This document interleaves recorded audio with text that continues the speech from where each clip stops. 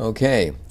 I am Arthur Gilbert, the uh, presiding justice of Division 6 of the California Court of Appeal, 2nd District, and I have the distinct privilege and honor of uh, interviewing a dear friend of mine and one of our most preeminent justices on our court, uh, Richard Aldrich.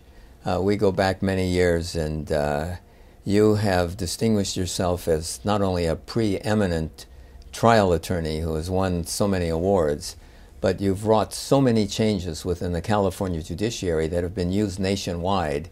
Uh, you have made a difference, and your legacy is going to last for years. And Thank it's you. really a, a, a, indeed a privilege to, um, to participate in this. But let's go back um, and start from the beginning, if we will, and talk about your life a little. Uh, I guess when we're young, we never realize where we're going to wind up or what's going to happen or who we're going to know or what's going to happen. But tell us about where you were born and uh, influences in your life. Well, I was born in Los Angeles. Uh, in fact, not very far from where we're sitting, probably within two or three miles, at the California Hospital in 1938. So, as of last June, I was 76 years old. Uh, I grew up uh, initially at 1031 and a half West 22nd Street, which is roughly uh, oh, 22nd Street and Union Avenue, not very far from here. And the majority of my youth was spent in Leimert Park and uh, on 9th Avenue. And uh, all of my friends and, were from that neighborhood.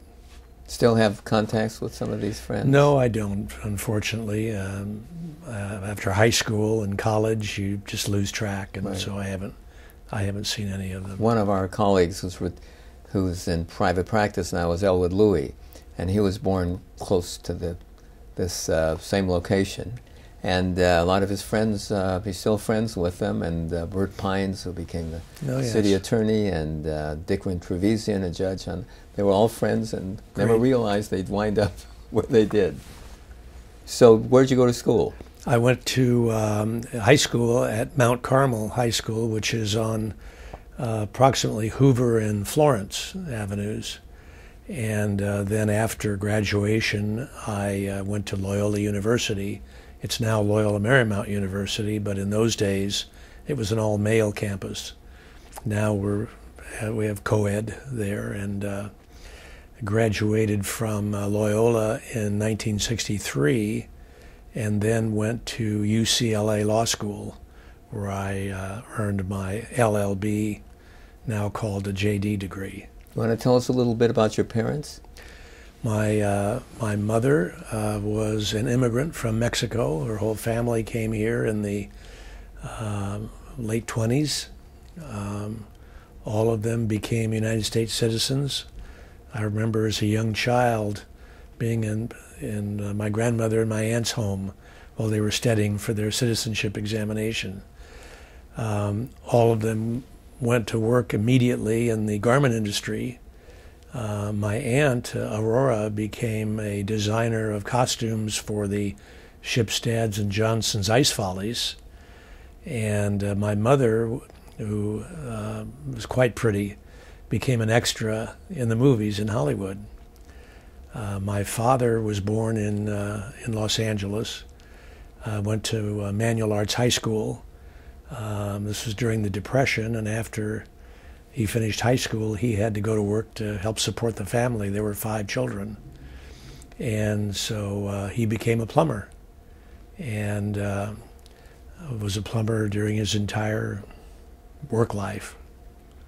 And uh, unfortunately, my mother died quite young when she was 49 of uh, cancer. And my, mother, my father uh, died when he was 79 of lung cancer, which is not too surprising because he was a heavy, heavy smoker. So, um, so you went to. Um, uh, you didn't have any brothers or sisters. I do. I have a sister, Linda, who is five years my junior, and then I have a brother, uh, Ronnie, who is 16 years my junior. And when you're growing up, tell us a little bit about growing up, if you. care. Well, it was. I I had some uh, very wonderful experiences growing up, and some uh, not so pleasant experiences. Um, when I was 12 years old, uh, in 1950, we had there was a large polio epidemic that swept through Southern California, and uh, about the middle of December of 1950, I came down with what I thought was a bad cold, uh, lethargic, had no energy, a sore throat, uh, elevated temperature, and so I stayed home for about a week, and it didn't seem to be getting better. It seemed to be getting worse. And so on Christmas Eve of uh, 1950, uh, my mother called the doctor, and in those days, doctors made house calls. So he came to the house and examined me, and then asked to speak to my mother in the other room. And even at 12 years old, I knew that probably wasn't good, although I really didn't know anything about polio at that time. But he told my mother that he strongly suspected that I had polio. And so that afternoon, uh, my father, of course, came home and they took me to the only hospital in Los Angeles that would take polio patients. That was the Los Angeles County General Hospital. And I can remember walking into the hospital, no ill effects at all, and not knowing that'd be the last time I would I would walk without assistance. And uh, so I stayed at the Los Angeles County General Hospital from Christmas Eve uh, until the day after New Year, January 2nd of 1951. And then I was transferred to the orthopedic hospital in, in Los Angeles, where I stayed for a month, um, where they gave me physical therapy and hot packs on my, on my legs and extremities. Um, I can remember very clearly losing the strength of my, of my left leg and left arm uh, while I was in the county hospital. There was one day they had just finished with the hot packs, and I was laying there alone. And I don't know what came over me, but I had the sensation that I was losing the strength in my legs, and I started moving, lifting my legs up off the bed and flailing my arms in the air, and I kept doing it. And gradually, I could feel the left leg. All of a sudden, I couldn't lifted off the bed anymore. And uh, as a result, after I came out of the hospital, my left leg and left arm were, were paralyzed. Um, fortunately, the left arm came back with practically no ill effects. Uh, the left leg, I still wear a, a leg brace from inside my shoe to my hip. And when I walk, I have to walk with the leg the knee locked because without any muscle, musculature, quadriceps on that leg, if I if I flexed or bent my leg at all and put weight on it, it would collapse. So that's how I spent my childhood uh, after that, from age 12 uh, to the present, in trying to overcome, if you will, overcome my disability adjust to my disability. Um, I was always a pretty, very competitive type of person.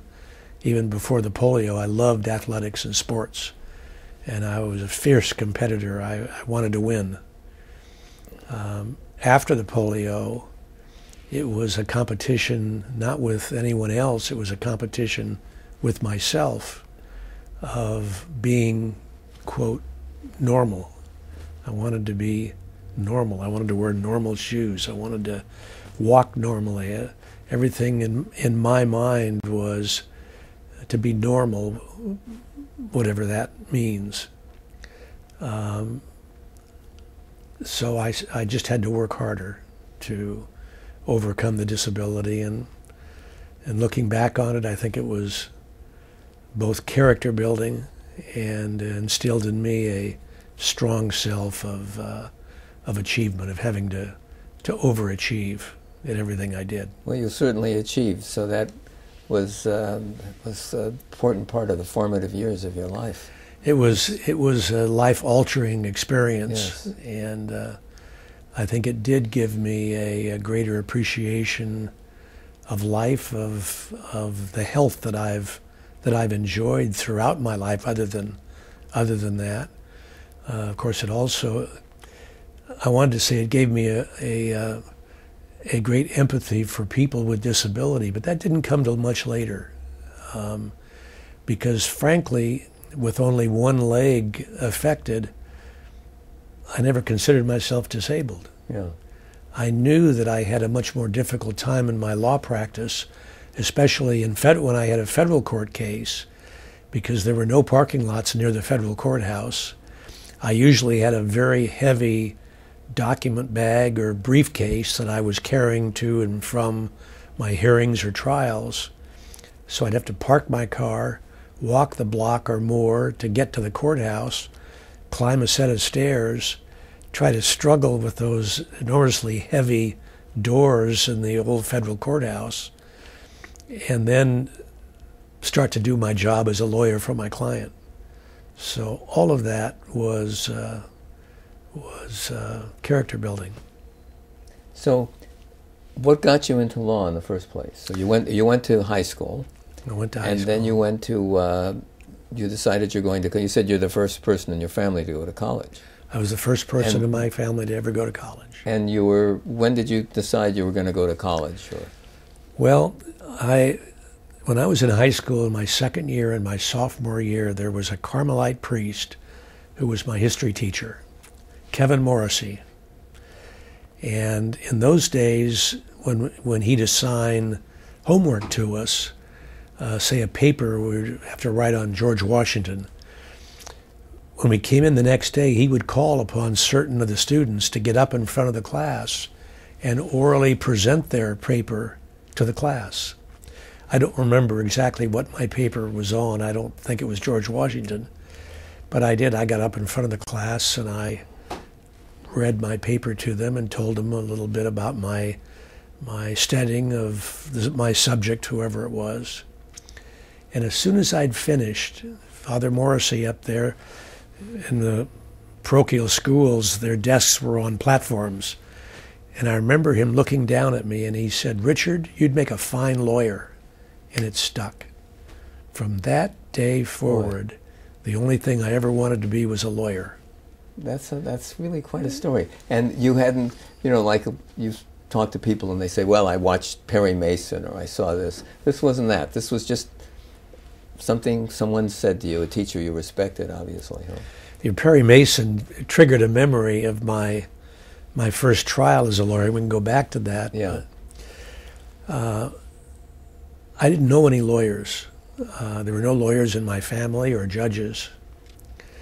Uh, when I applied to UCLA Law School, on the application, they asked that you list references. And under that section of references, there was a little parenthesis we prefer lawyers or judges.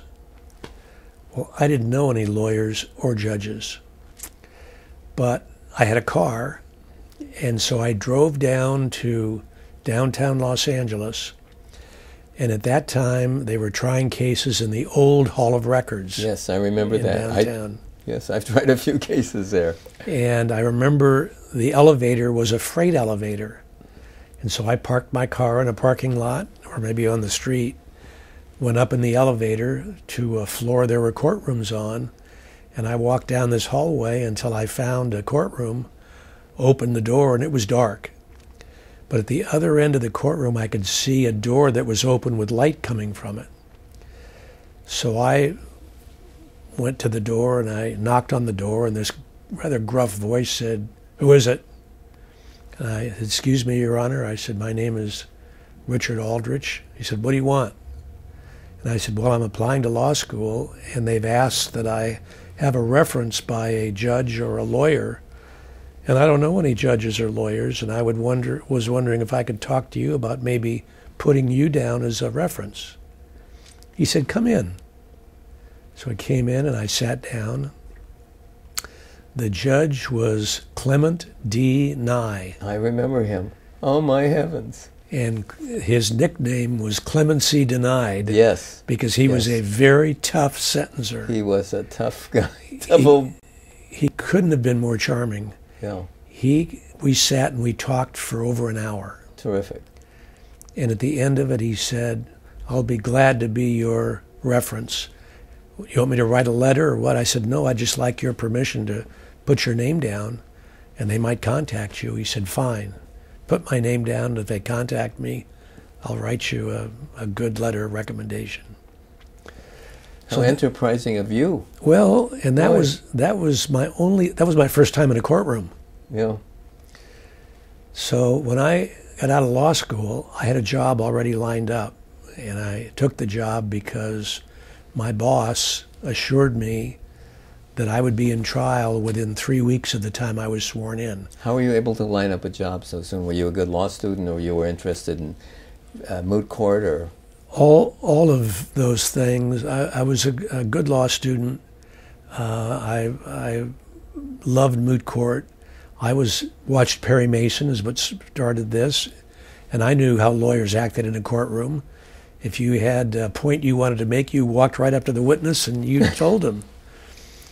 So, in my first trial, and, and my boss didn't quite make it three weeks, but a month after I was sworn in, I was assigned my first a personal a plaintiff's personal injury lawsuit so? This was a plaintiff's because you actually went to the other side eventually. for a while. For a yeah, while. for a while. Then you were, but, but then I went back. Yeah.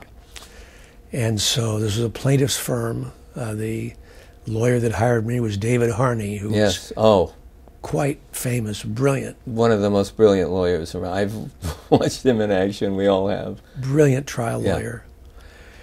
So he gave me this rear end automobile accident case to go take to trial. So, uh, having seen Perry Mason, whenever I wanted to show the witness a document, I just walked right up to the witness and showed him. Uh, sometimes I got right up on the witness's face if I was cross examining the witness. At the first break, the judge, who was a very kindly man, uh, his name was Bernard Jefferson, Oh yes, who came to this court later. absolutely. and he knew it was my first trial. Yeah. trial. The defense lawyer knew it was my first trial. It was probably painfully obvious to the jury that it was my first trial. But Bernard Jefferson, being the perfect gentleman that he was, didn't want to embarrass me in front of the jury. So at the first recess, he asked his bailiff to come over and talk to me and tell me. So at the first break, why, uh, the bailiff came up to me and he said, Now, Mr. Aldrich, he said, I want to tell you something. He said, when you question witnesses, you question them either behind the counsel table or from the lectern. You never approach them. If you have to approach them to show the witness a document, you ask the court's permission, Your Honor, may I approach? And the court will then say, Yes, you may approach. Then you go up to the witness. And he said, That area between the counsel table and the bench, he said, That's no man's land. That's the well. You never, ever, under any circumstances, go in there. Now, you understand that? I said, Oh, yes, I get it, I get it. Of course, the adrenaline was pumping. It was my first jury trial, and I had these. So, the very next session, not only did I approach the witness without permission, not only did I stand in the well, I think at one point I even may have put my elbow up on the bench. as soon as my elbow hit wood, I thought, oh no, what have I done? And I looked up, and this kindly Bernard Jefferson was leaning over the bench with a big grin on his face. And I backed out so quickly, I said, I'm sorry, Your Honor, I forgot it won't happen again. And it never did happen again. Why? So That's a great Bernie Jefferson story too, as well. he was he was a great man, a brilliant jurist. Yeah, Uh, a sweetheart. wrote, right. wrote the definitive uh, book on evidence. I know. I actually edit uh, part of that book. I'm my just finishing editing editing a chapter today. I, so isn't that amazing? Well, at, at that time, uh, his brother was already on this yes. court, Edwin was that Edwin Edwin Jefferson? Edwin Jefferson, Yes. and then uh, he joined uh, Yes. much later. Right. Right. And these stories stay with you forever, don't they? forever, they're defining moments. So, so you were with the Harney firm, I was and with. that was a. May I ask? Do you remember how the case turned out? I lost. Okay. I lost uh, resoundingly. Uh, in fact, before that case, the defendant was insured with the Auto Club. And the Auto Club was represented by the firm it was known at those days as Gilbert Thompson, Thompson and, Kelly. I tried a case against Gilbert, the two Gilberts. Tough, Tough guy, tough huh? guys. Oh boy. Well, the lawyer I drew from that firm was a man by the name of George Queetman. Kit Queetman. He was probably the meanest man I ever met in my life up, up to that point. And before the case started, he came up to me in the hallway. And he said, Aldrich, he said, they're going to, sending the jury up. How much do you want for this turkey? So I swallowed hard. I said, $5,000. He said, I'll tell you what I'm going to do. I'm going to give you $2,500 for this case, and it's not worth any of that. And if you don't take it, I'm going to chew you up and I'm going to spit you out all over that courtroom. So for the next week and a half, he did he did. precisely that. But a great learning experience. It was a great learning experience, and uh, that's how I got my my taste for trial work. So, uh, so despite, so you licked your wounds, and what happened next? I got another case to Uh-huh. try, and uh, it was uh, a more difficult case, and uh, I lost that one too. But that's okay. That, that's the way you learn. Um, I licked my wounds from that, and then I started winning a few cases. And uh, David Harney, rest his soul, what a great lawyer he was. He was he really uh, trailblazed for the rest of the legal profession products liability as we know it today. Um, his partner, just before I joined the firm, was a man by the name of Ralph Drummond. And Ralph Drummond became a, a judge and um, also a very close personal friend. Ralph Drummond's stepson, Donnie Lyford, was killed in um, between Carmel and Monterey on Highway 68 in what they call the Carmel Pacific Grove Cutoff while driving a Corvair automobile. And uh, the police couldn't put together why the automobile had gone out of control and gone across the center lanes and into the oncoming traffic. And of course, uh, Donnie was killed. And so I think probably out of uh, consideration for his former partner, Ralph, Dave took the case. And he started looking into the dyna- automobile dynamics of the Corvair automobile and became convinced that the Corvair was defectively designed. Now, this is the, this is the early 1960s. I remember the case. He didn't have all, there were no seat belts in cars in those days. And so uh, uh, Dave had tried three, taken three of those Corvair cases to verdict and lost them all.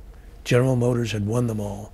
And in fact, General Motors were winning the cases across the country. Um, I think partly because the public just couldn't imagine that General Motors, at that time the largest corporation in the world, could ever put a car on the road that was defectively designed.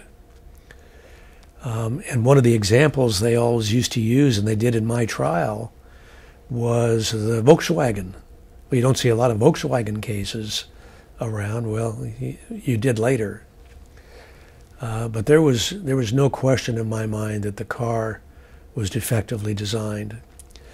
Anyway, David lost uh, the first three cases, and he was in trial in his fourth. And one day I was sitting in my chambers, minding my own business. Well, not your chambers then. Right? I mean, I mean Your my, my office. yes, Excuse me. I've done that too. Thank you. my office, and Dave was on a break. I don't know. I guess it was after court, and Dave walked in with two arms full of files. And I looked up and I said, "What's that?" He said, "This is your next trial." I said, "Oh, okay. What is it?" He said, "It's a Corvair case." And my heart sank. I said, I'll be glad to try it, but one, I'm not an engineer. Two, I didn't do very well in math. I'm not an automobile dynamics expert by any means. He said, Don't worry about it. You'll spend a month with our expert, Paul O'Shea. He'll teach you everything you have to know about automobile dynamics. By that time, that was 1966. And I remember putting my family on the airplane the week before I started trial to Hawaii for a vacation. And I said, Look, I'm going to settle this case, so I'll join you in, in about a week. It was a terrible Corvair case. It didn't really fit the Corvair rollover pattern that we had developed. And so Dave said, Look, settle the case for whatever you can get out of it. But I don't want to dismiss the case for, for no money because that's going to show a sign of weakness. So, with that kind of uh, carte blanche authority, I was sure I was going to settle the case. So I'd forgotten what my initial demand was, but five, ten thousand dollars, and we were looking at a six to eight week trial. So I walked up the first, I walked in the first day of trial to the chambers of the judge. The General Motors attorney was there. The attorney for Tom Carroll Chevrolet was there. And I said, well, maybe I can make this easy on everyone. Um, I have authority to settle this case for $25,000. And the General Motors attorney looked at me and he said, We are not paying one nickel to settle this case. So I said, All right. And we tried that case for almost eight weeks in front of the jury. And at the end of the case, the jury came in with a plaintiff's verdict.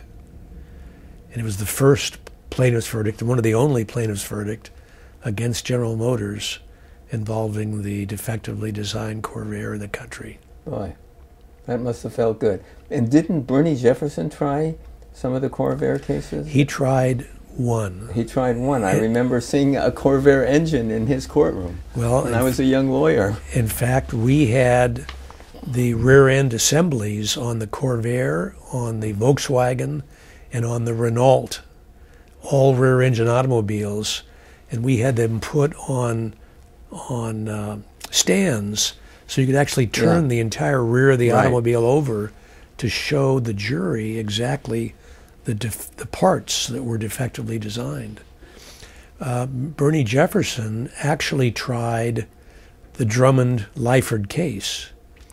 And for some reason, Dave waived jury in front of, in front of Bernie. That turned out to be a big, big mistake uh, because uh, Bernie not only found in favor of General Motors, but he wrote a 90 page opinion uh, not only exonerating General Motors uh, from any liability, but pointing out uh, that the Corvair was not defectively designed and really tearing our only expert apart saying he wasn't qualified to give the opinions that he gave. Wow. And uh, that opinion was used by General Motors, in my case, later on, as authority uh, for my trial judge, where we'd be arguing a legal point, and I'd be citing the California Court of Appeal and the Supreme Court, and they'd be citing Bernie Jefferson's opinion. So uh, shortly after the jury came in in my case, um, I was getting ready to pick a jury in another Corvair case when General Motors asked Dave to come back to Detroit for a settlement conference, and Dave settled all the Corvair cases, so wow. we didn't we didn't have to try anymore. But that's something to have one. That's quite a quite an accomplishment. I didn't come down for weeks. I was. I can imagine. And your family were they were in. Uh, well, in in in fact, um, when I when the the day after the jury came in, I I hadn't taken a vacation, and Dave, as a reward for me, he said, "You didn't get to go to Hawaii, so I'm going to send you back to Hawaii." And the Mauna Kea Beach Hotel yes. hadn't been open very long at oh, that time. Yeah and I remember him, we were sitting in his office, and he reached back to his phone and buzzed his secretary on the phone, his assistant, and said, Lee, he said, I want you to call the Mauna Kea Beach Resort and make reservations for Mr. Aldrich and his family for a week, all expenses. So uh, the next morning, we were getting ready to go to the airport, and the phone rang. And the gentleman on the other end identified himself as uh, representing uh, NBC News. And they'd heard about the Corvair verdict, and they wanted to know if they could come over to the house and tape an interview for the evening news, the NBC nightly news. And I said, Well, I'm sorry, I'm on my way to the airport to catch a plane to Hawaii. So he said, Well, would you mind if we met you at the airport? I said, Well, fine, that'd be wonderful. So I told him I was flying, I forgot, say United Airlines. So he said, We'll meet you at the United counter. Hung up the phone and finished packing. The phone rang again. This time it was ABC News. So I made the same arrangements. We'll meet me at the United Airline counter. Okay. Well, boy, by the time I pulled up to the curb at the You United the Airline, celebrity of the I mean, I was the celebrity of the year. They, people were whispering, "Who's that?" And uh, so I gave a very brief interview and never got to see the the airing because, of course, I was in Mm-hmm. Yeah. Hawaii on vacation. So wonderful. So moving along, boy, we could talk about your cases, and we would be here. They're so fascinating. I'm just, uh, I'm. So you were with Harney's firm for how long? What? What? I, I left. I left in about 1967, about a year after the Corvair case, yeah. and um, then um, things were getting a little difficult at the firm for me with with uh, Dave. Dave had a he was a wonderful, brilliant man, but he had an ego as Big big as ego. all Of outdoors. course, yeah. And it was a little tough, I think, having this young whippersnapper Yeah. win this Corvair case when he had now lost four Corvair cases in a row. And so it got to the point where I just felt it'd probably be better if I left. And I had a lot of offers from law firms uh, around Los Angeles to come to work, especially in light of that Corvair case. But um, I, had, I had just purchased my first home in South Pasadena, You were married, and you had. Um, a child on the way. yeah. And here I'm out watering my front lawn. I'd planted a dichondra lawn, and my next door neighbor came over and he said, Well, how are things going? And I said, Well, Pete, funny you should ask. I, I'm married with house payments and an expectant wife, and I'm out of a job. And he said, Well, he said, You remember Bob Stevens?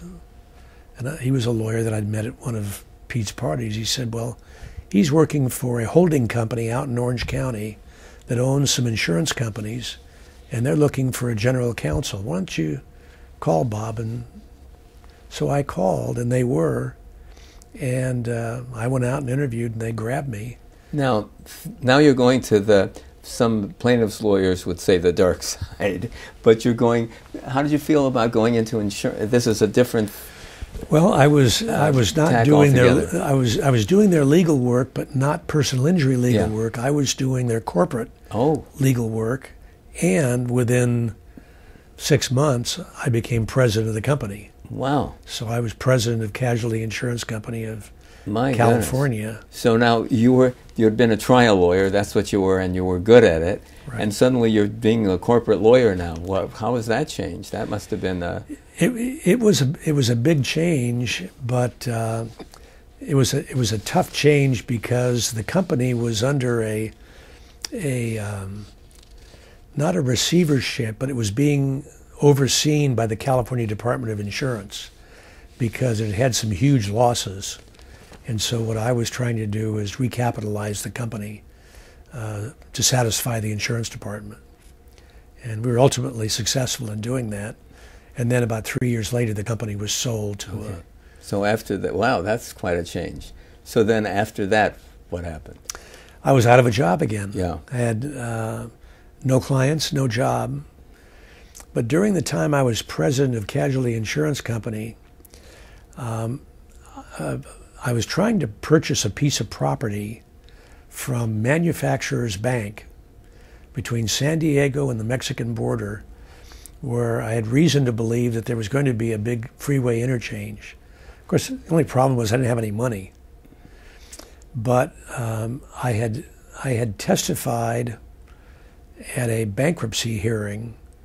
Uh, the property was being held by a bankrupt estate, and uh, one of the lawyers who was representing Manufacturers Bank apparently was impressed with me because he called me after I'd opened my office in Hollywood at Highland Avenue in Franklin in the yes, I lived near Stanley Fulb building. Yes, yes. And uh, he called me and he said, Richard, he said, how much do you know about savings and loan law? Well, what do you need to know? I knew where the financial code was. That's about all. He said, Well, he said, I have a very good friend, Charles Wellman. Charlie was really, really founded Glendale Federal Savings and Loan.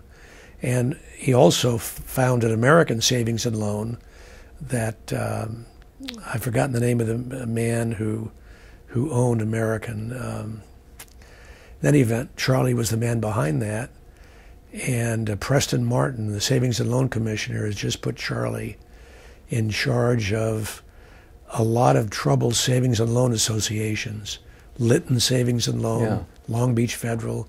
There were 85 branches, and they need uh, a general counsel. This you, was in the 70s, right? This was in the early early 70s. Early yeah. 70s, 71. Yeah. And so uh, he was said, Bart like, Littman, one of those. Bart Lytton was a I just character. that name just came up. Bart Lytton yeah. was a character. Yeah, real. I've met him. Yes, he was a character. He had uh, an art collection. Yeah. The only problem was, I think he was using the savings loans money to buy that collection. Yeah. yeah. but uh, anyway, it went under in the savings Yeah. and loan crisis of the late '60s, and so uh, I met Charlie, and he liked me, and he said, "Would you represent us?" So I was a savings and loan lawyer for about two or three years until Equitable was merged into Great Western Savings and Loan.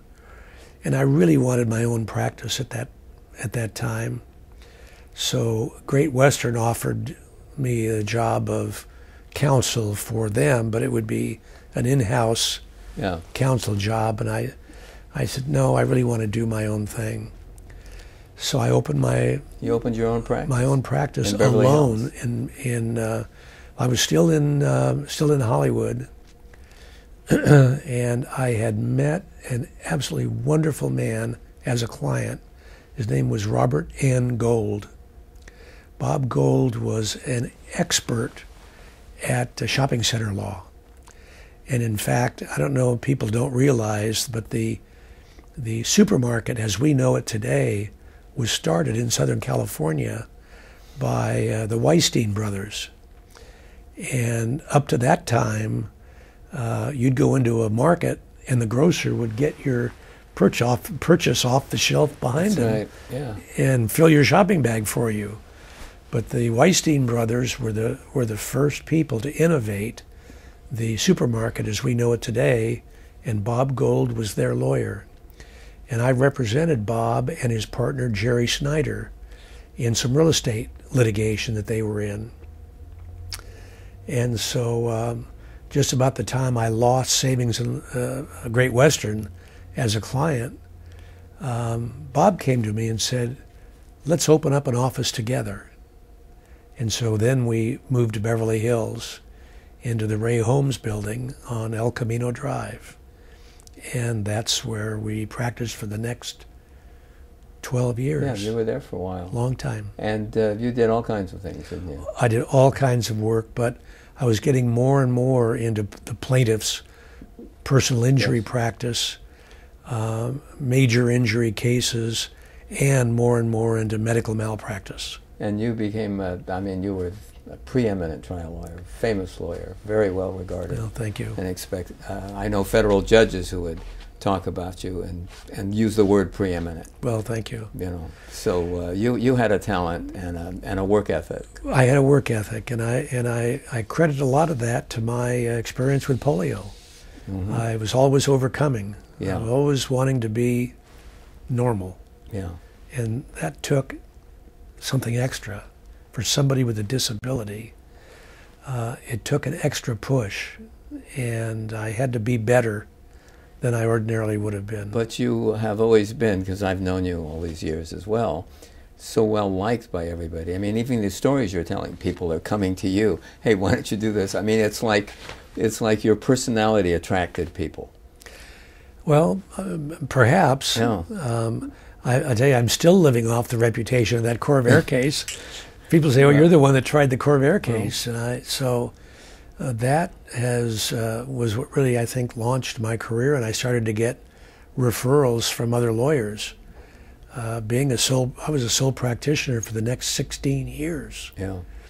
and uh, that meant I was responsible for taking all the depositions and answering all the interrogatories and taking the case to trial and keeping my law office doors open while I did. I think that made you uh, also a preeminent trial judge because you knew what it was to really practice law. What what prompted you to to go on the bench? Uh, probably a lot of things. I, I've been thinking about that a lot um, since almost all of my cases, when they went to trial, were long trials, six, eight weeks, and not all in Los Angeles or Ventura, some in Riverside, San Bernardino, and cases that would cause me to live in a hotel room for six or eight weeks, maybe getting home on weekends. And it got to a point by the um, in the 80s where I think I felt if I had to index another deposition, preparing for another cross-examination, it just started to take its toll. And I I didn't know what what I wanted to do except I knew I did not want to retire. I did a very very smart thing in the in the late 89 late 80s my wife and I bought a second home. And Now, uh, tell us your your wife and you had how.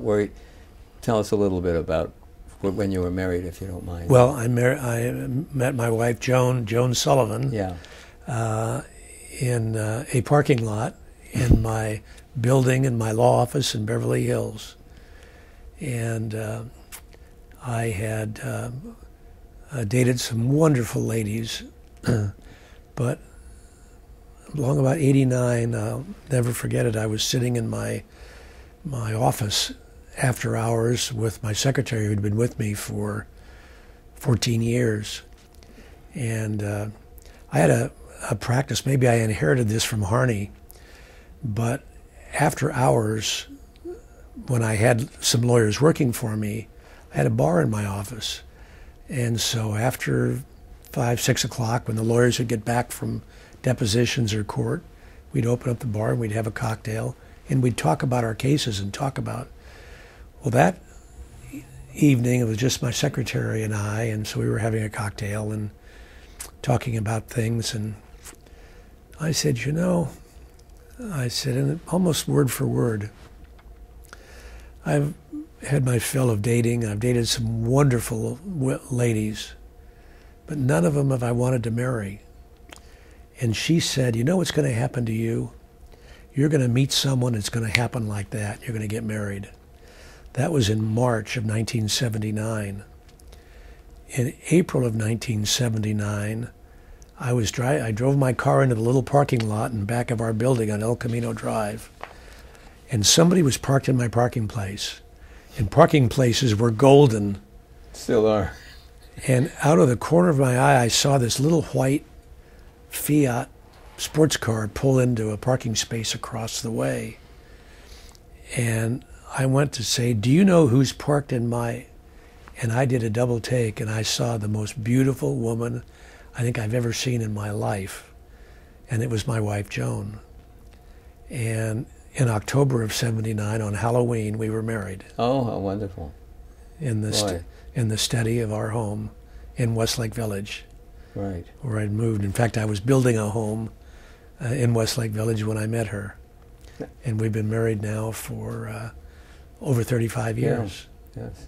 So yes, now you mentioned just before we'll get to the bench in just a moment, but you mentioned one of the smartest things you did was to have two homes. Did, were you saying something? Well, one of the smartest things I did was not to have two homes. Not to have two homes. was not to have the two homes, but in in uh, in uh, '89, late '80s, I was actually thinking about retiring. So I told Joan, I said, uh, "Let's do this." I said, "Don't tell her anything." I asked her, Yeah. Said, "Let's go up to Pebble Beach and spend two weeks. I won't call the office, nothing. We'll just go up there and stay." After about five days, I was going crazy. I knew at that point I was not going to retire. And um, when I got back, I was having lunch with a, a person you mentioned earlier in this interview, Dickran Tevrizian, a wonderful Yeah, friend. was a federal judge. He was uh, he was also on the on the uh, municipal court when I first went on the municipal court. We became friends. He was a superior court judge, a very successful practitioner. Then he was on the federal court. Now he's one of the leading mediators in the state. He is one of the brightest people you'll Yeah. ever meet, and and a very positive person.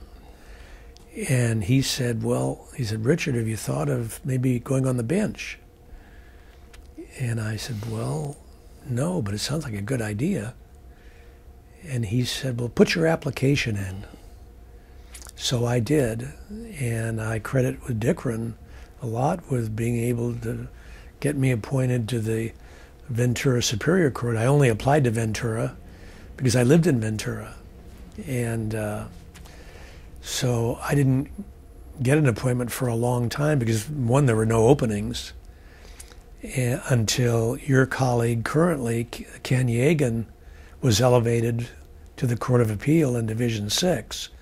That a vacancy was created, and George Deukmejian, bless his heart, I think I was probably the last appointment he made as he was leaving his governor's office at the end of his term. Really? Uh-huh. I am sure, in my mind's eye, he was reaching to turn out the light when he says, "Oh, I better, I better appoint Aldrich to the Superior Court."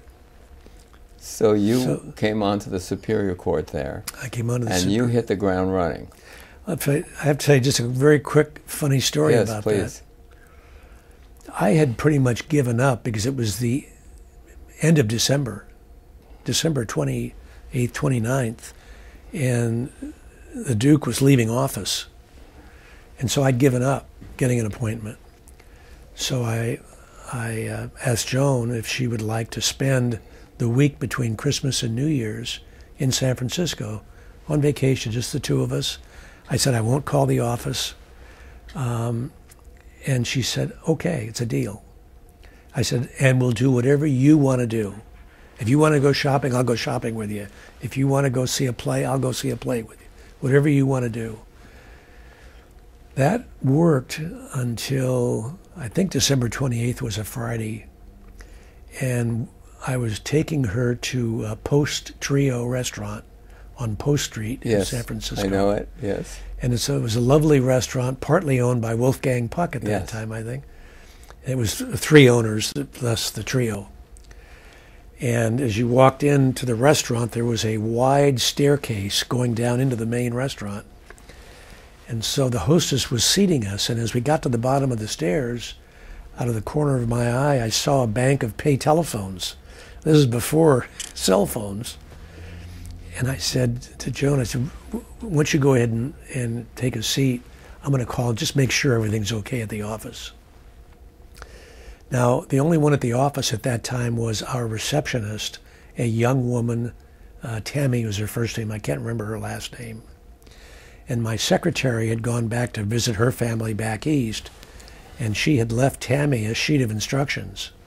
If the governor calls, explain that Mr. and Mrs. Aldrich are out of town, explain that you could reach him uh, immediately, and a full sheet of instructions, and at the bottom in caps, do not put the governor on hold.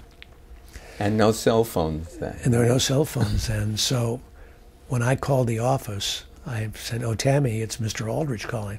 "Oh, Mr. Aldrich, said, where have you been? Where have you been?" I said, "Well, I'm here, Tammy." Now, hearing the tone of her voice, it was just some voice in the back of my mind that told me what was going on. I said, "What's the matter, Tammy?" She said, "He called. He called." I said, "Well, who called?" She said, "The governor." I said, The governor. I said, What did the governor want? She said, He wants you to call him. I said, Okay. So I called back and I didn't talk to the governor, but his appointment secretary and uh, Terry Flanagan at that time. Yeah. And, and uh, Terry said the governor would like to appoint you to the Superior Court in Ventura County. And so that's the story. So that's it. Wow, you had a drink to celebrate. We had a couple of glasses of wine. Now, um, I know all about you on the Ventura. Uh, You you were you reviewed my cases. I was reviewing cases that were appealed from you.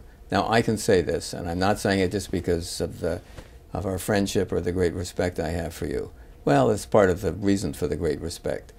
But your decisions were actually, I mean, they were stunning. They were so good that if we saw Aldrich's name on it, we'd say, uh, in fact, this is true. I'm, I'm revealing this. I didn't tell this to you before. So it's for all for posterity here. Our whole division, we said, what's he doing on the Superior Court?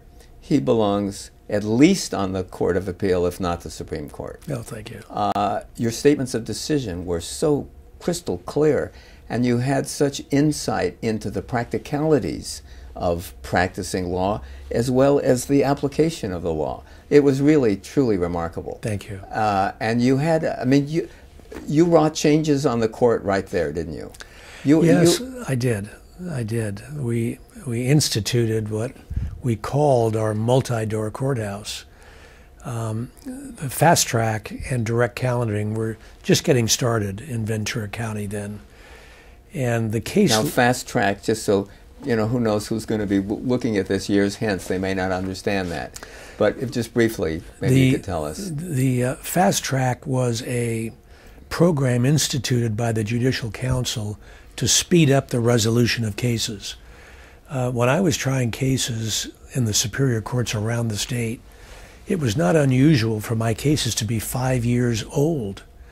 And under Code of Civil Procedure, if you don't bring a case to trial within five years of the time it's filed, it's subject to mandatory dismissal. So it was not at all unusual to call up your opposing lawyer when the five year statute was getting close and say, Will you stipulate to extend the five year statute for six months or a year? So cases were languishing in the Superior Court. Um, the legislature saw this and said, You have to get your house in order, judicial branch. And so they passed the Delay Reduction Act. Um, what that did is mandated that um, I think it was 80% of the cases be resolved in 18 months and 100% of the cases be resolved within two years.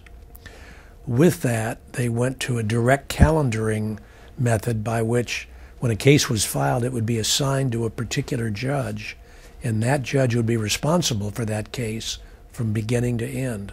Whereas in the past, like law and motion matters and so on, might be in front of a different judge, th- Correct. a judge different than the one that would ultimately hear the trial of the case. Exactly. So one judge was responsible for all aspects of the case. And the theory was that that judge would then be uh, knowledgeable about that case speed on the and up to speed, so the judge could uh, ru- make rulings quicker. Uh, I understand today the condition of our uh, law and motion departments, for example, are in abysmal shape. You have to call in Los Angeles Superior Court and reserve a date for a hearing on demur. And I've been told by uh, some Superior Court judges that if you called today, you wouldn't get a hearing date for six months. That's not justice. No.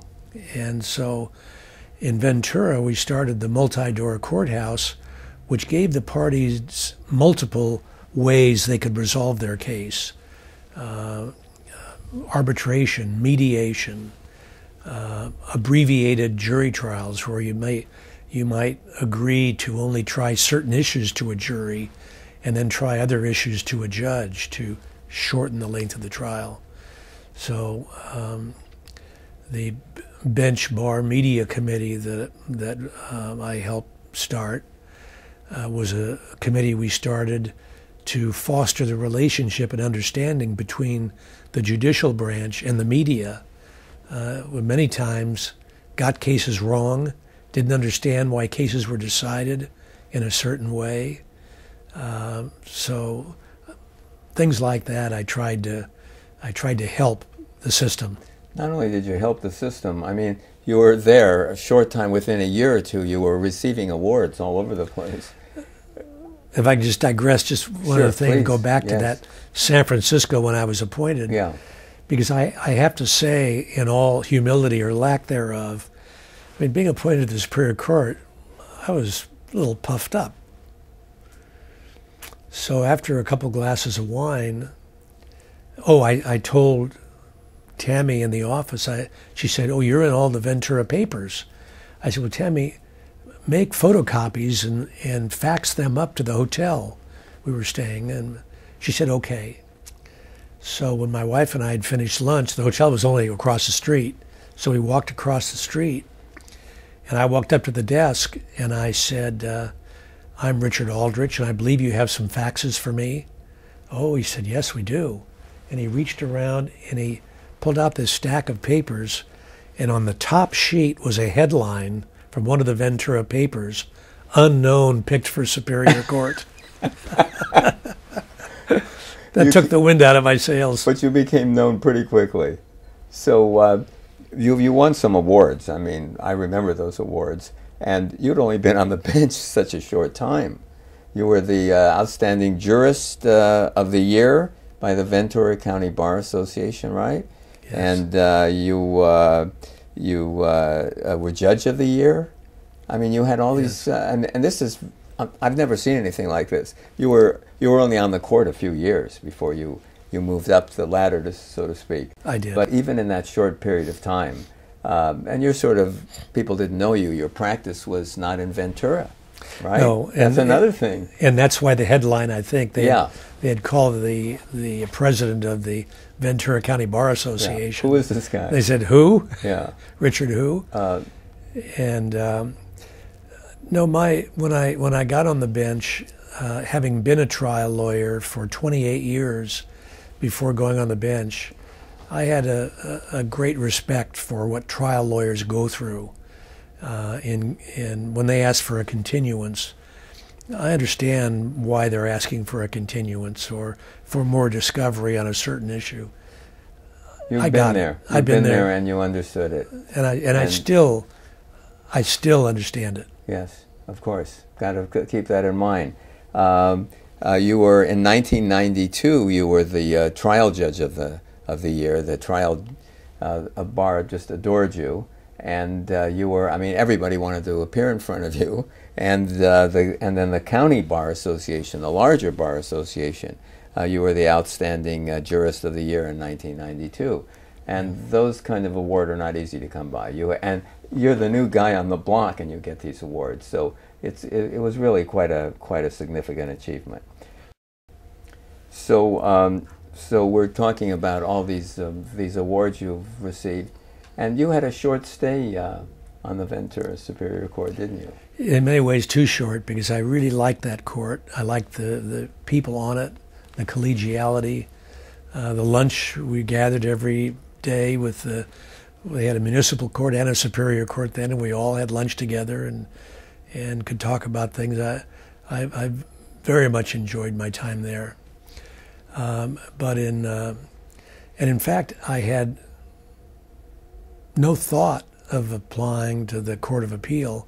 In fact, I remember two of my colleagues on the Ventura Superior Court took me out to lunch one day, and uh, Larry Storch and Alan Steele. Yes. And I remember they were sitting on one side of the booth, and I was on the other, and they said, I suppose you're going to apply, uh, apply to the Court of Appeal. And I said, Well, no, I hadn't really given it any thought. And then people who I'd gone to judicial college with were getting appointed to the Court of Appeal, and I thought, oh my gosh, if they could do it, I could do it. So now, I, the Judicial College, just so viewers will know, the Judicial College is, is um, a a two week uh, indoctrination course uh, course teaching judges how to judge, right. and it's it's uh, put on by uh, CJER, which is the California Judicial Education and Research arm of the California Judicial Council, and I taught at that judicial college for 20 years. You certainly did. We both did, yes. And uh, so it's a it's a two a very worthwhile two week uh, course. So you know other people were applying, so you applied. So uh, I applied, and uh, Governor Pete Wilson, uh, governor then, uh, appointed me to the Court of Appeal in Division Three.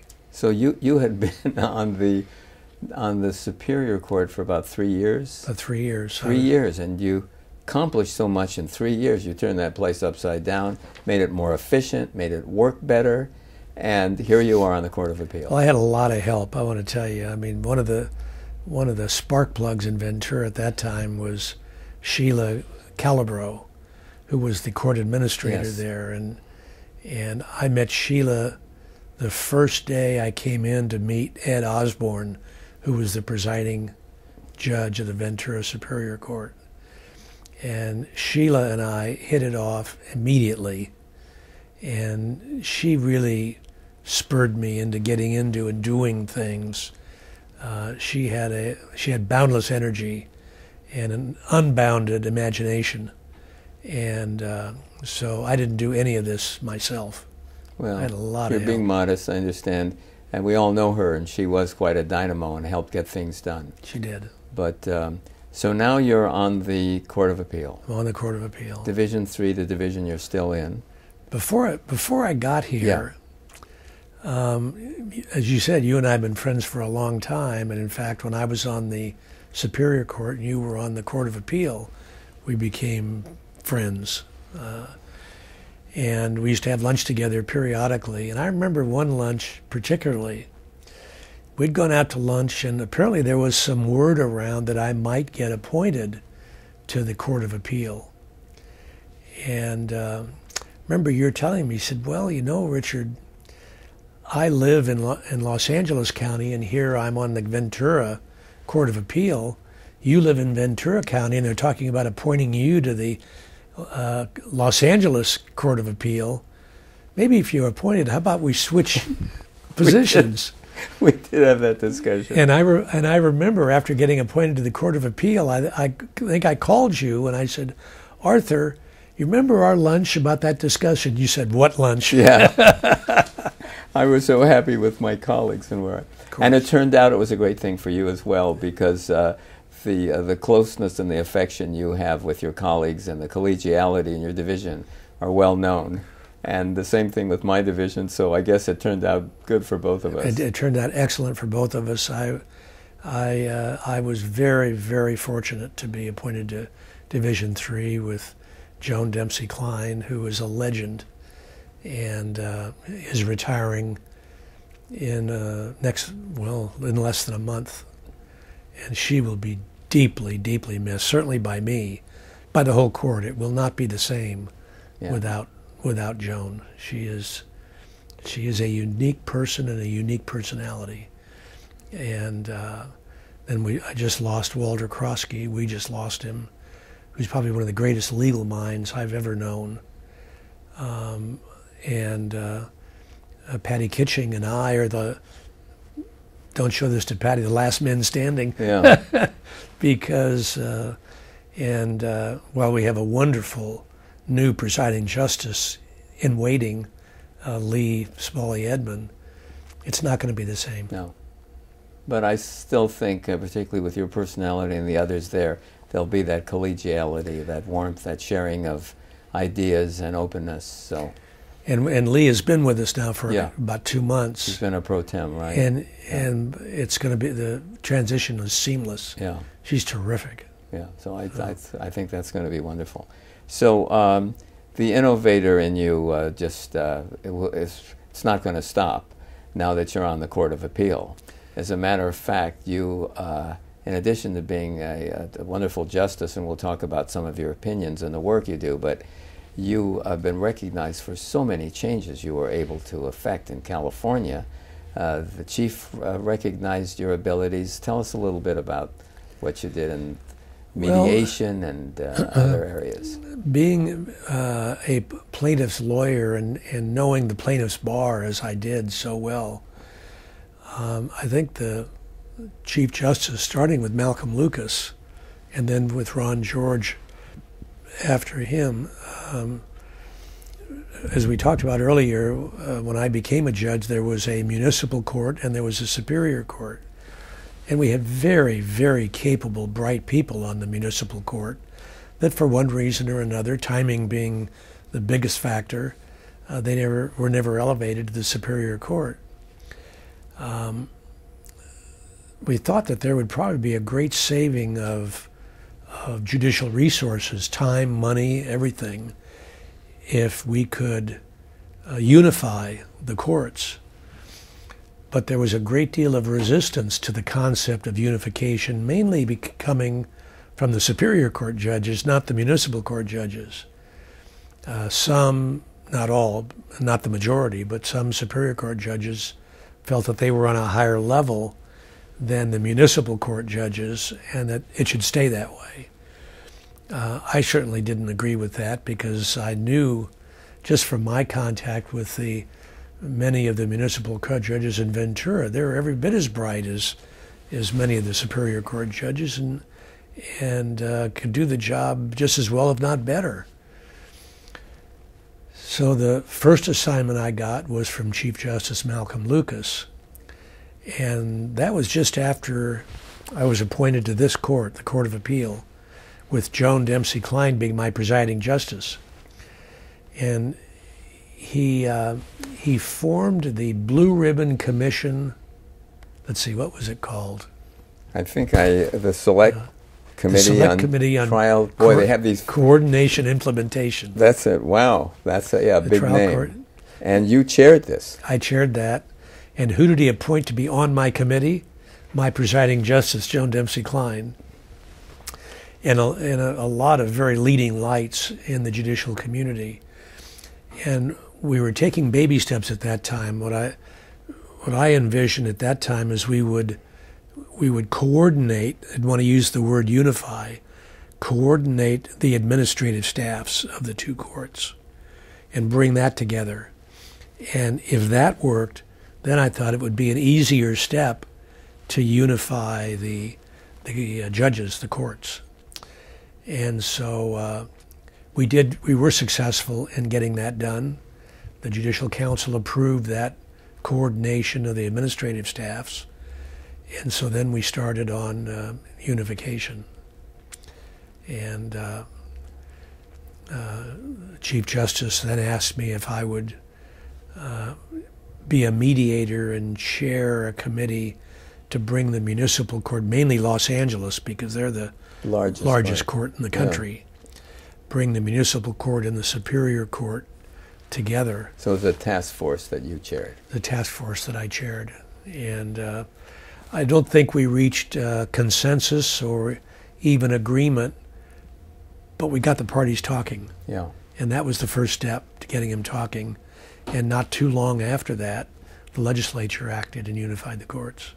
Now, what became and always has been important, but particularly today more than ever, is um, is the um, bringing the parties together so they can avoid court. They can have a mediation, a settlement, because court should be the last resort.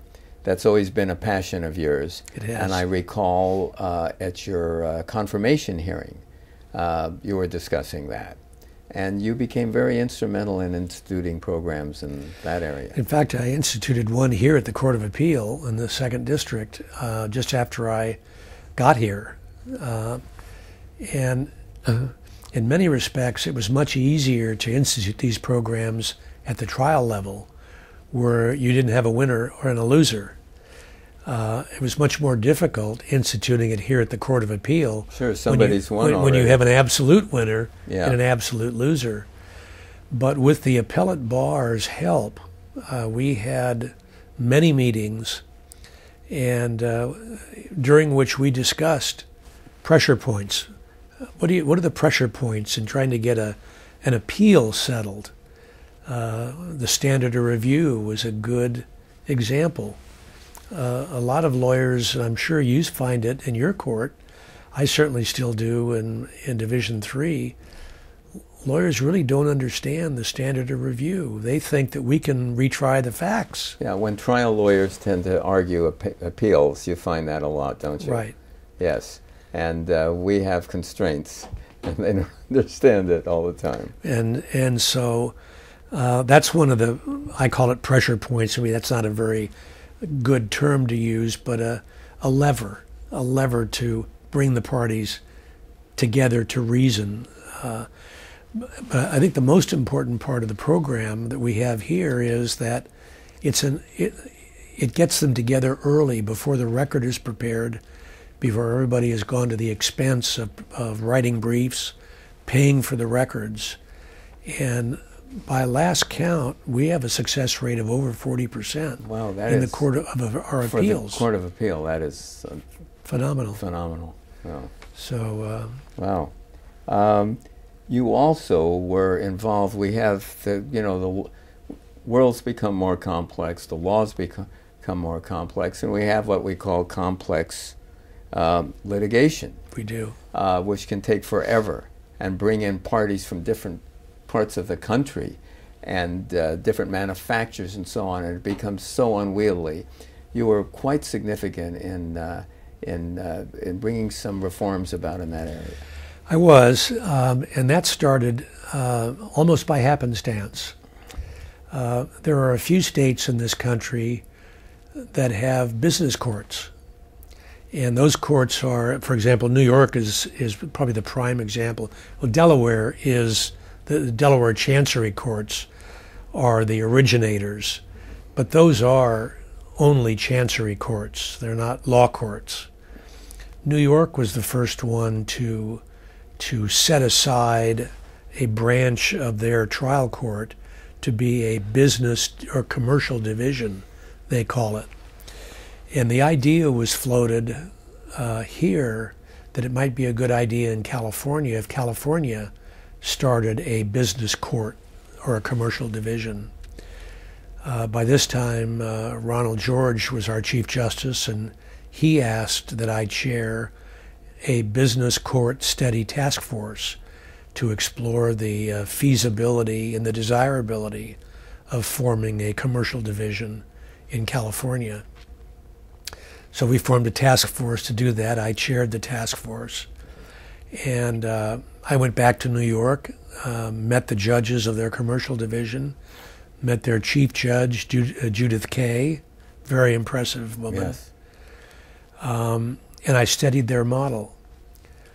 Um, I also then took a survey in California of judges and lawyers of whether they were in favor, and legislators, I should add, of whether they were in favor of forming a business court. Um, and as a follow up question, I asked if the answer to number one is no, how would you feel about a complex litigation court? Having in mind that not all complex cases are business cases, and not all business cases are complex. Much to my surprise, the results were overwhelming. From the, the legislature, they were against a business court as such, but were overwhelmingly in favor of a complex litigation court. Uh, the trial bar, primarily the personal injury trial bar, bar, were overwhelmingly against the formation of a business court, but were in favor of a complex court.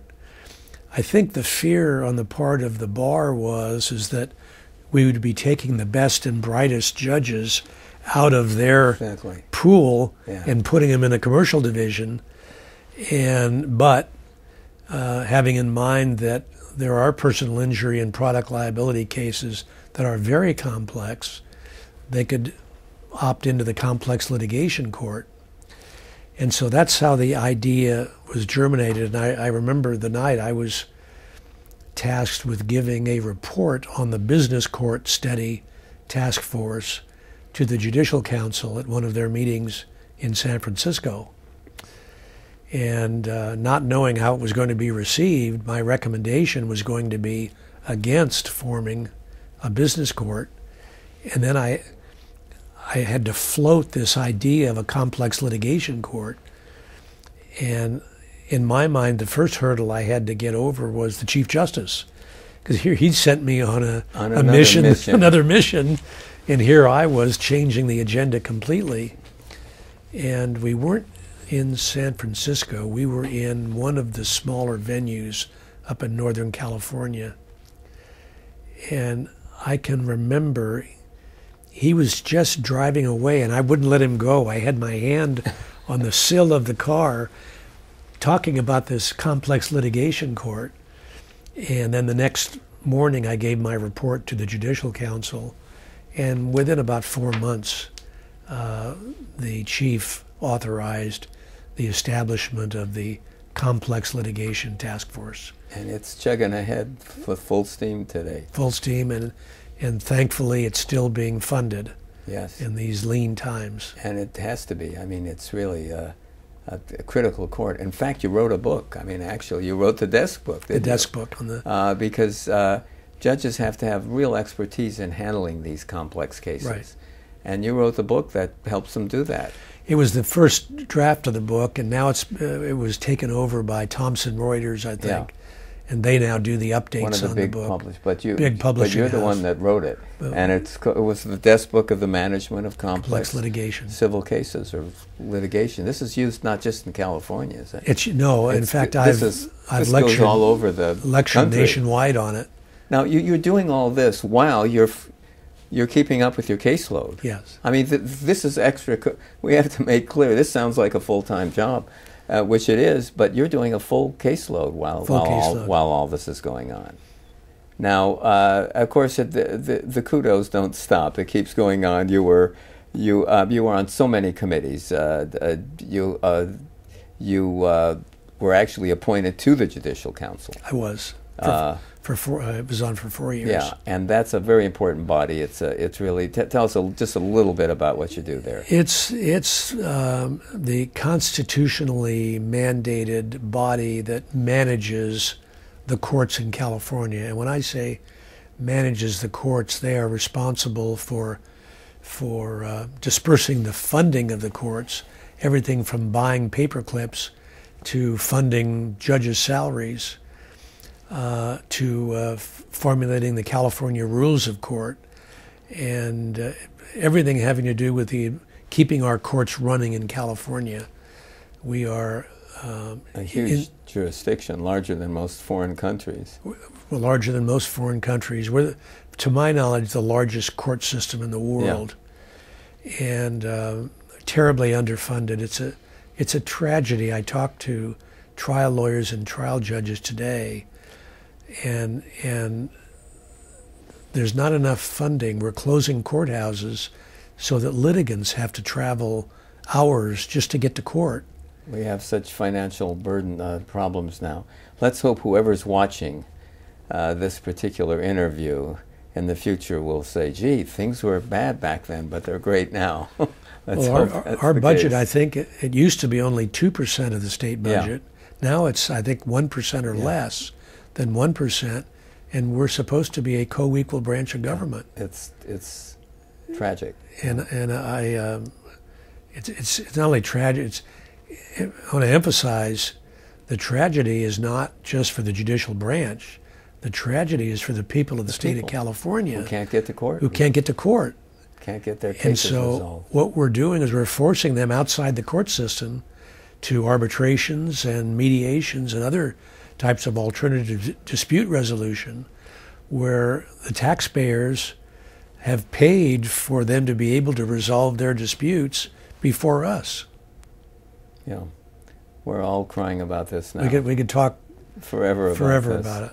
Uh, you were on a number of uh, committees as well when you were on the Judicial Council. You chaired committees, I did. uh, ranging from all kinds of things. You were on on blue ribbon panels for the efficiency of experts, right? Or The fair and efficient administration of justice, Justice. is called a, Rubin, blue ribbon panel of Yeah. experts on the fair. and- right, And, we, we hit everything, including, it goes right back to our funding argument, including court fees and how much litigants should be charged for filing a complaint in the Superior Court.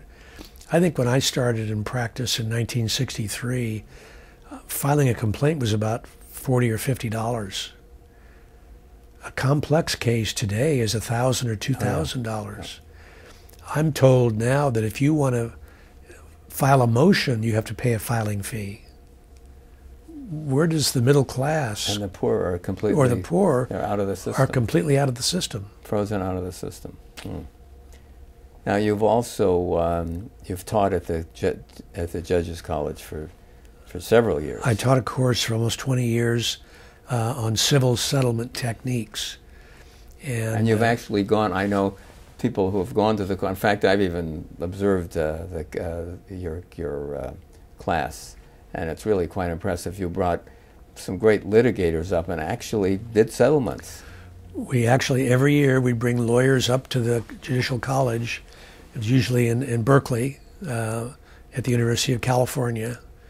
And we had, we held actual settlement conferences and tried to get the cases settled. We usually were able to settle them. And you could show different techniques that could be used to do that for the judges. We had, when we started, it was an entire day course. So in the morning, we would lecture them on how, this, these are the techniques that you use. And then in the afternoon, I would usually be the judge who would conduct the settlement conference, and I would show them how I employed the techniques. And uh, for example, you can settle most of a case, but if there are some issues hanging out there, then get the parties to agree to stipulate to send those few issues to arbitration. The the the uh, key thing I tried to impart to all the students was never leave the case in the same condition you found it. Right. Change it in some way because it's going to change the dynamic Right, and it's going to al- al- always be changed for the better, isn't it? always. So um, I'd like to just talk a little bit about your work on the Court of Appeal, uh, some of the significant cases. I don't want to embarrass you by all these awards you uh, received, but I think uh, I think viewers would really really like to know about it. Um, uh, w- w- when you were practicing law, I mean, you were.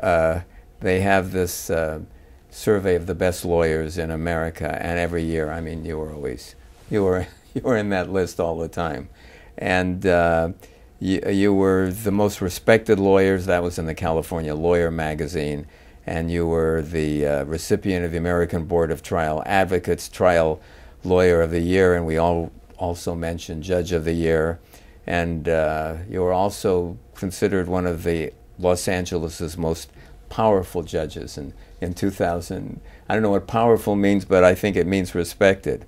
And um, tell us about uh, the Consumer Lawyers uh, awarded you a very prestigious award named after one of our great Chief Justices. That was the thing that makes that award very special is its namesake, the Ro- Roger Traynor Award. I think Roger Traynor was one of our greatest uh, Supreme Court justices, um, and uh, that was uh, awarded in I think it was 2000 and time go one. I think it was uh, that was 2000. I think. 2000. Yeah. and uh, so it was um, the consumer attorneys are the, is basically the plaintiff's bar, and uh, and uh, gave me that award. That's great. And in 2006, the Judicial Council gave you a very prestigious award, the uh, Jurist of the Year award. That was the jurist of the year. Yeah, uh, not no surprise there with all the uh, contributions you've Well, made. it, it's it surprised me, and um, in fact, the day the award was announced, I was on the Judicial Council at that time, but I had driven up to the Judicial Council meeting from Monterey, and I misjudged traffic, and so I walked in as they were announcing the award. And as I walked through the door, people started applauding. I had no idea what they were what they were applauding for, but I heard the Chief Justice Ron George uh, talking about the award, and the only thing I could think of saying was, "Well, Chief, I want to thank you and everyone for this great honor. Uh, I I really appreciate it. Could I ask what it is?" a great laugh. oh, wonderful. And then uh, uh, the chief said it's the jurist of the year. Well, you've uh, also distinguished yourself as, uh, as a scholar on the court. You've uh, helped shape uh, the law of California over the years. And uh, before we close, and then you may have some closing comments you'd like to make, uh, tell us about some of the cases that mean the most to you or some significant cases you participated in? I, I think I think one of the cases I have to tell you that gave me the most satisfaction was a case I dissented in, and the Supreme Court took and reversed. Great, that's always a good feeling, isn't it? Um, and and it was so much sweeter because the majority was written by a, a justice who I have the utmost respect for, and that was Walter Croskey. He may have even taken the case away from me and talked one of the other the other justice on the panel to, to go, go, with, with him. him. instead of your view. And it was a case entitled Simmons versus Ghaderi, and it was a case involving mediation.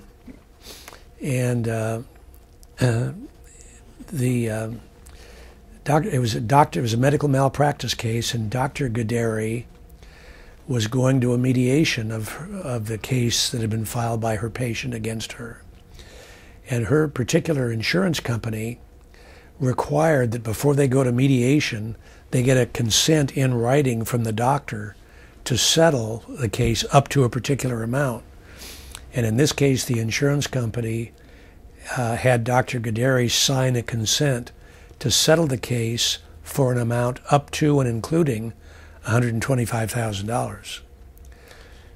They went into the mediation, and in the mediation, the lawyer ultimately offered 125,000. The plaintiff took it, and the Dr. Ghaderi's lawyer came out into the courtroom. She was sitting there waiting, and said, "Well, congratulations, doctor. We settled your case." She said, "How much?"